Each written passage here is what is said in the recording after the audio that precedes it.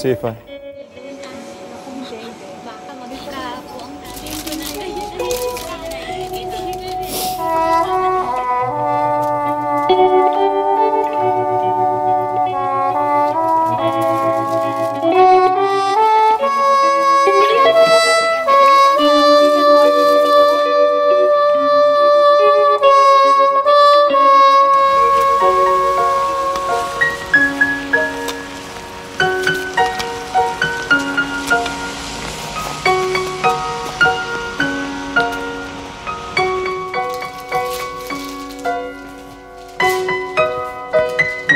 Hun fikk seg nå en skikkelig smell i badekaret.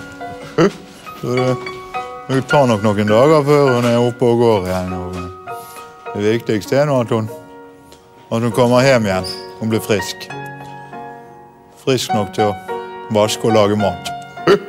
God dag. God dagen. Dr. Lindås. Fritz Andersen. I forbindelse med det fallet så, så har hun jo også fått et lite hjerneslag.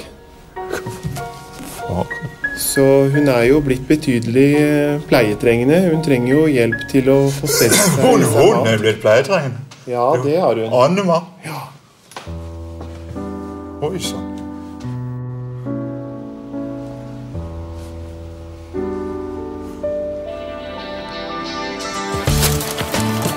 Er du ledig, eller? Ja, bra. Jeg digger egentlig sånne situasjoner som dette her, da, fordi nå øh, skal jeg overraske Tine. Nå har jeg med to doggybager med skikkelig gourmetmiddag oppi. Og så treffes vi i køen på legevakta isteden.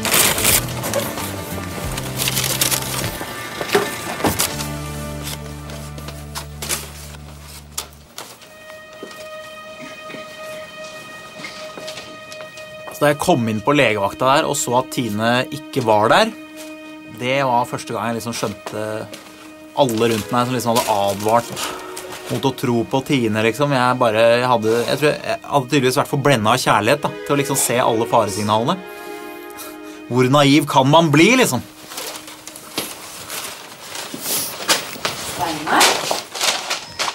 Men man må jo tydeligvis være litt naiv da, hvis man vil finne den store kjærligheten. For hadde jeg fulgt fornuften fra første stund, så hadde jeg jo aldri møtt Tine. Så bra.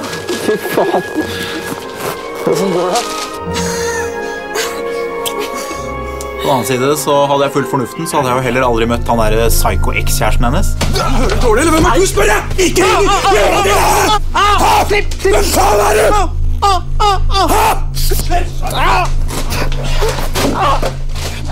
Gina!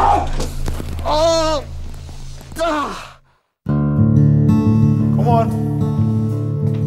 Det er jo ingen som kan si de har opplevd den store kjærligheten om ikke de har fått være ordentlig til nytte for noe.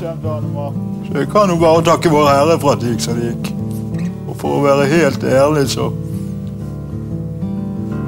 Så er det jo først nå at jeg virkelig føler meg ung og vital ved siden av Annema.